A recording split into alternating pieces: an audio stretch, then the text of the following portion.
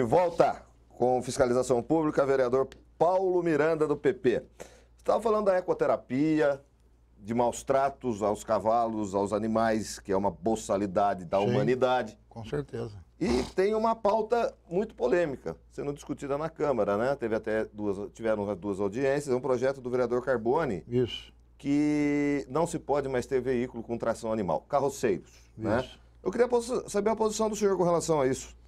Miguel, a minha posição é, é clara. Eu, eu, eu adoro criação. Quem me conhece sabe disso. Eu tenho cachorro, eu tenho cavalo, gosto de andar a cavalo, mas sempre é parto do seguinte princípio: judiar nunca. Né? Judiar nunca. Então, até ontem eu tive com o veterinário, o vete- o veterinário está fazendo um tratamento no- no- no- nos três cavalos que eu tenho lá, porque mesmo apesar de não dar tempo de andar mais, porque é muita correria o dia inteiro, mas a gente tem que estar sempre cuidando. Né? Então tem que ter um carinho especial com ele. Tem o charrete, e, mas sou contra a proibição. Eu acho que tem muito, aí em torno aí de cento e poucos, duzentas pessoas que vão ficar desempregados, Miguel. Vai fazer o que com essas pessoas? Eu sou a favor, sim, que proíba no centro da cidade. Isso eu sou a favor. E já fui claro, já falei, mas proibir de tudo não. Eu acho que o que está faltando aí no executivo é fiscalização. Vamos fiscalizar. Tem uma, um projeto de lei de minha autoria aí, onde é, é, a pena é pesada para quem joga em turno em lugar desapropriado. Tanto é, Miguel, que foi, foram criados aí alguns PEVs justamente para auxiliar os carroceiros, para que educasse eles para ter aonde que eles jogassem o, o entulho que é retirado aí dessa residência. Agora vai proibir. Tá, e daí? Eles vão fazer o quê? Quantas famílias vão ficar desempregadas, ainda mais nessa crise que nós estamos aí hoje? Sim, sim. Ah, mas tem aquele cara lá que bebe demais e judia do cavalo. Ah, bom, então tem que fiscalizar. Então vamos pegar aquele cara que bebe judia do animal, vamos corrigir, vamos castigá-lo, vamos prender sua carroça, vamos prender seu animal, vamos multá-lo para ele tirar o cavalo de lá. O que, que faz com o carro que está sem licença? Não apreende? Uhum. E depois o cara não tem que pagar o pátio? Então é a mesma coisa, Miguel. Eu acho que a gente tem que fiscalizar. Então eu, eu sou a, é, é, a favor, sim, que proíba na área central da cidade. Como é que mapeia a área central, vereador?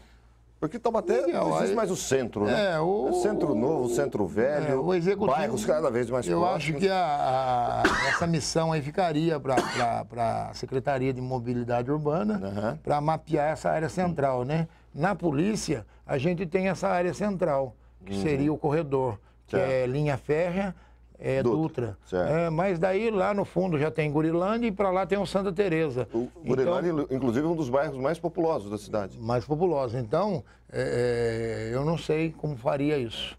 Teria que, né? Ou poderia usar até a, a Via Dutra com a, com a linha e passar uma linha aqui na Independência e passar outra linha é, Perto de Três Marias ali?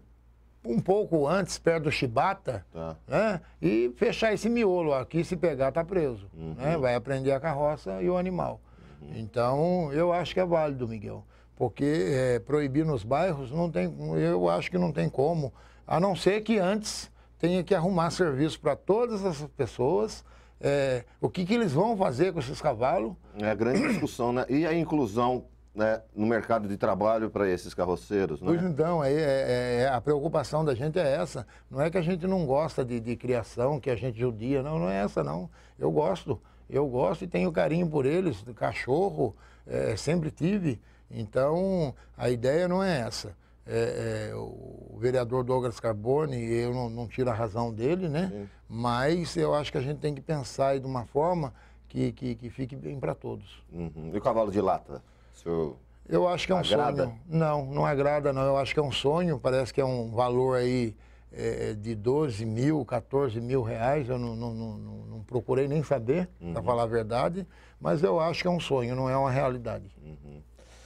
Vereador, estamos já no meio de novembro, nós estamos gravando, estamos gravando, hoje é dia 19 de novembro. Eu queria que o senhor fizesse um pequeno balanço de como foi a produtividade na sua avaliação em 2015, em se tratando de fiscalização do Legislativo. Ô Miguel, é, eu vou dar um número para você entre oito e, e, eu acho que é, o prefeito está trabalhando, ele está fazendo, nós estamos fiscalizando. É, não é, não falo só no, no nome desse vereador, mas no nome do, dos 19 vereadores. É, corre atrás, fiscaliza, vai buscar benfeitoria em outros municípios para trazer aqui para nossa cidade. É, é, então não, não, é só eu, não, eu repito, é a maioria, todos eles estão trabalhando e muito. É, raramente você encontra com um, com outro para poder bater um papo. É, você pergunta, ah, estou viajando, fui buscar isso, trazer uma melhoria para Taubaté.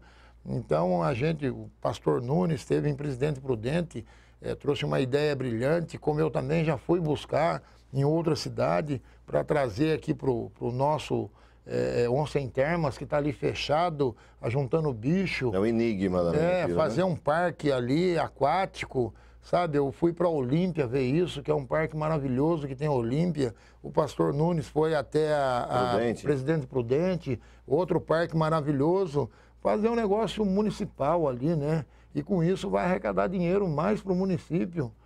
É, é, tem algumas coisas que a gente não concorda, é, mas tem que respeitar, é a lei, é, atuação de multas, é, braço para fora, é, enfim, uma série de coisas que eu acho que a Câmara do COI ela tinha que estar tá, focalizado na segurança pública, departamento de trânsito é outra coisa.